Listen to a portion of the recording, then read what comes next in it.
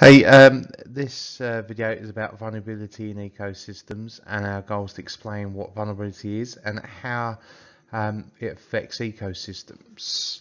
Uh, by the end of the lesson I want you to be able to explain what vulnerability is, explain the impacts of natural stress and then explain the impacts due to human induced modifications. So um, the section of um, the syllabus we're looking at is the second dot point.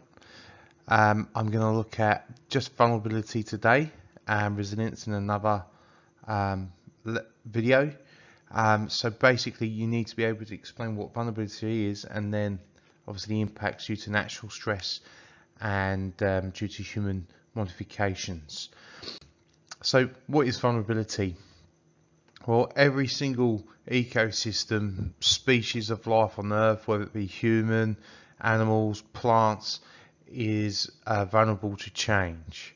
Um, every ecosystem is in what's called a state of dynamic dynamic equilibrium, and this is a, a steady balance of biophysical interactions, um, making an ecosystem exist.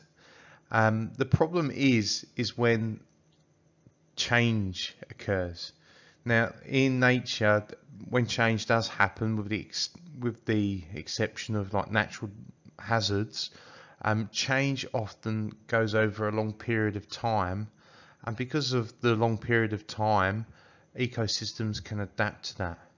Now, like I said, all all ecosystems are vulnerable, um, but more some ecosystems are at risk than others. These are some of the causes of vulnerability, location, extent, linkages to other ecosystems and biodiversity. So I'm going to be explaining each one of those now. So location, location affects the functioning because at global scale things like latitude, altitude, distance from ocean determine the nature of an ecosystem.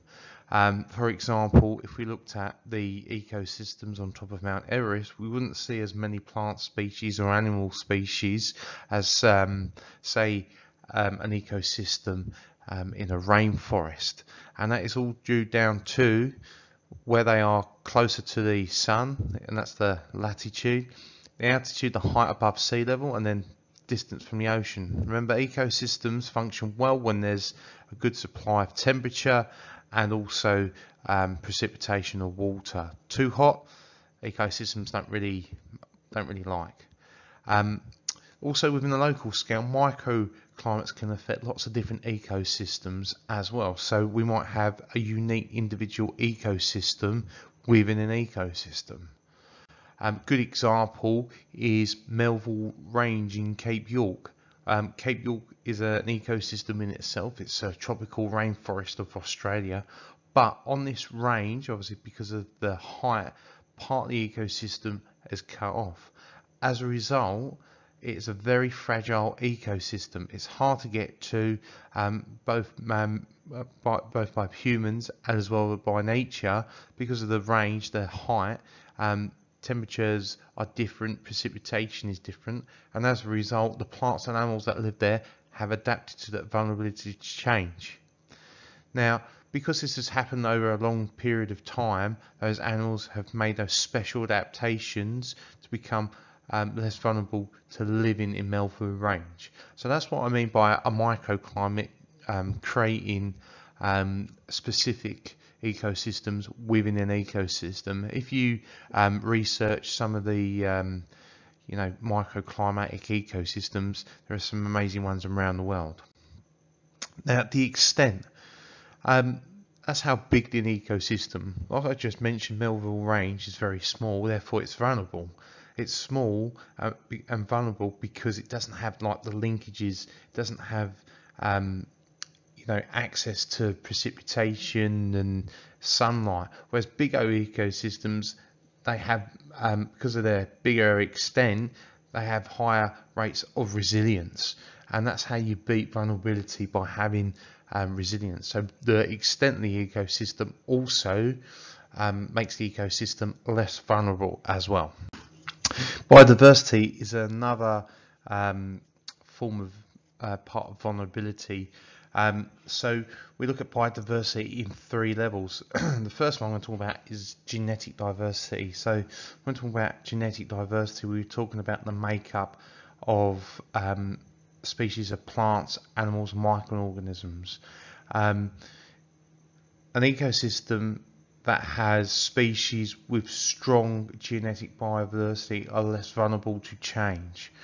Um, why is that? Well, because with the um, law of survival of the fittest, the gene, um, the biodiversity that has a bigger gene pool is likely to overcome um, disease, um, traumatic um, events, and also um, we have then different species of that sorry different um, biodiversity of that species. Um, so the reason why we have a number of dog species is because they can um, you know have different mutant mutations of genes which means that the bio, the genetic biodiversity is stronger. So when we're talking about genetic diversity we're talking about the makeup of animals and plants um, the more um, diverse it is, the greater it is to cope with um, biodiversity, uh, vulnerability.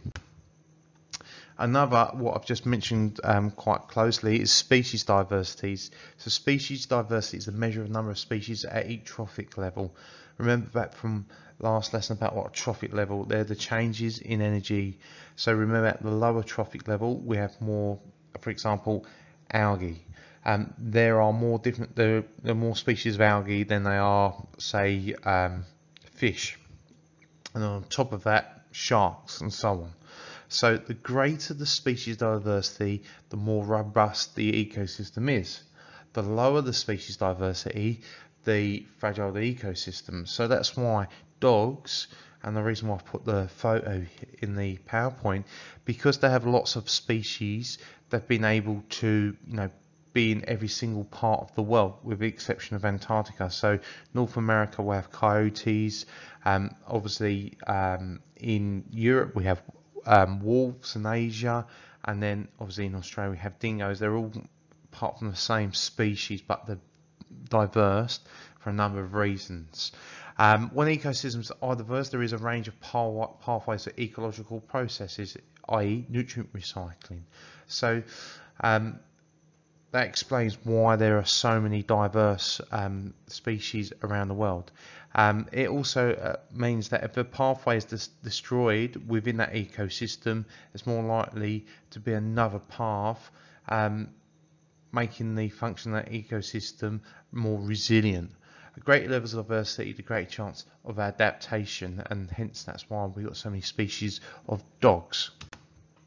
The third um, vulnerability to do with biodiversity is the ecosystem itself.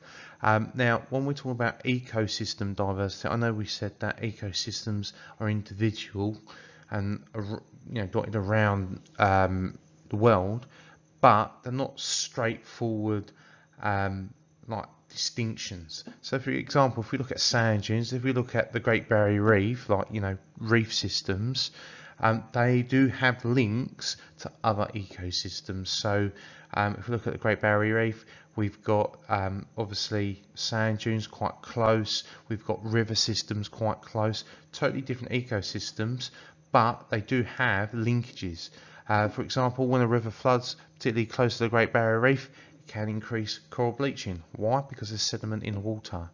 So linkages and the links with ecosystems to other ecosystems um, is really important in reducing the vulnerability. So an ecosystem like the microclimate ecosystems in Australia and Melville Range, um, because I don't have those links, big changes means it's more fragile.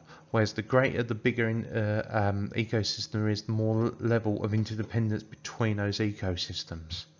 Okay, that's an explanation of vulnerability and how um, biodiversity, um, extent, size can all affect vulnerability. All right, thanks.